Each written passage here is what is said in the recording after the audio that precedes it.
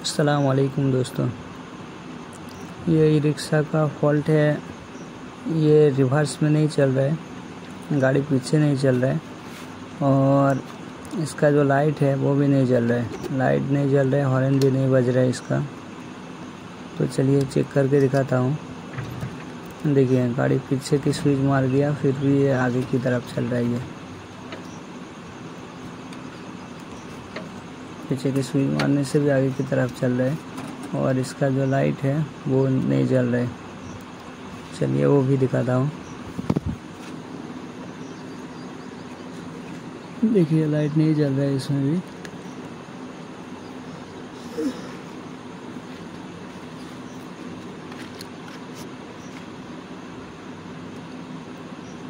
और एक बार इधर का स्विच भी मार के दिखाता हूँ।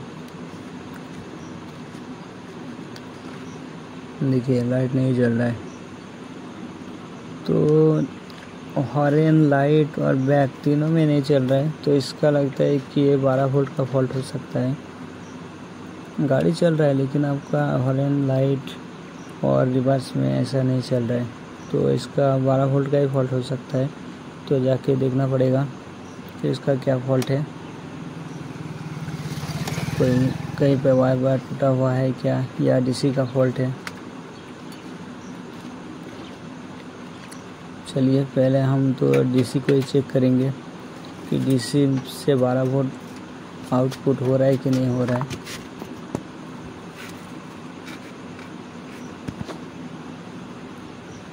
चलिए, आ गया हम। ये रहा हमारा डीसी पहले हम मल्टीमीटर को लगा लेते हैं सेट कर लेते हैं। मल्टीमीटर को 200 वोल्ट पे सेट किया 200 डीसी में। अब इसको चेक करते हैं। पहले 48 वोल्ट जो रेड वाला वायर है, उसमें लगाया। तो इसमें 48 वोल्ट तो इनपुट हो रहा है। डीसी के अंदर 48 वोल्ट आ रहा है, लेकिन 12 वोल्ट को चेक करते हैं उसके बाद।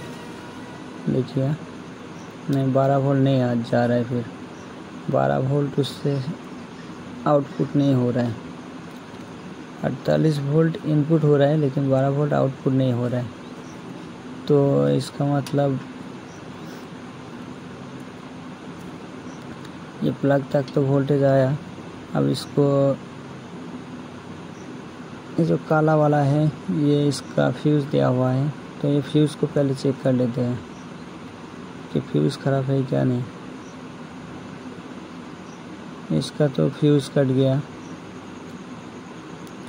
देख सकते हैं आप लोग, इसका फ्यूज़ कटा हुआ है। इसीलिए 12 वोल्ट नहीं जा रहा था। अड़तालीस वोल्ट इसका कन्वर्टर तक नहीं पहुँच रहा है फ्यूज़ के ज़रिए। फ्यूज़ कट गया इसलिए तो फ्यूज़ को चेंज कर देते हैं। नया फ्यूज़ लेकर आया इसको लगा के चेक करके देखते हैं।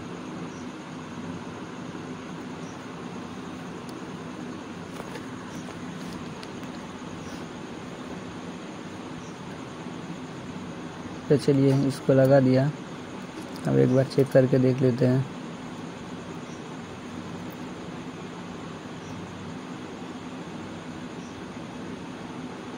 पहले अड़तालीस वोल्ट को देख लेते हैं। पचास पॉइंट दो तीन वोल्ट है। अड़तालीस वोल्ट ठीक है। अब बारह वोल्ट को चेक करते हैं कि जो आउटपुट होता है वो वाला वोल्ट ठीक है क्या? देखिए वोल्ट आ गया। यहाँ पे पूरा पूरा वोल्ट आ गया। इसका मतलब इसका जो फ्यूज़ है, उसका ही प्रॉब्लम था। तो चलिए, आगे भी जाके चेक करके देख लेते हैं एक बार, सामने की तरफ़।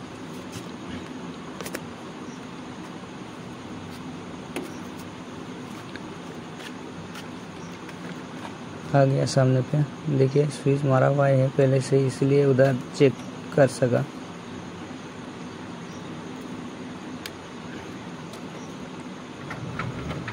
देखिए, अब रिवर्स में चल रहा है गाड़ी। तो इसका जो फ्यूज़ है, उसका ही फॉल्ट था।